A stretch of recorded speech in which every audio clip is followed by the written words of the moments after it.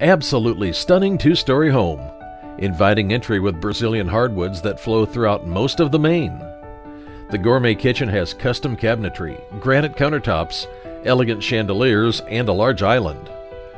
Breakfast room with bay overlooks deck and lovely backyard. The family room includes a fireplace and a bay window.